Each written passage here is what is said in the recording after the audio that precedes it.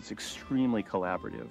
We start with a script from our writers, and we'll begin to visualize that kind of in comic strip form up on a storyboard. And then we'll pitch that to each other. The story artist will get up and kind of go through it. Comes back in dresses as Esmeralda. That story meeting becomes a great chance for the directors to say, ah, that's a little slow in here, and I don't like that line of dialogue, and what if we added a gag here?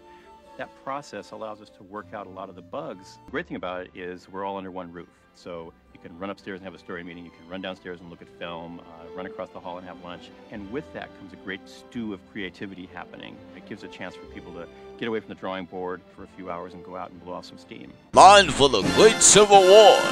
It's time for Histeria.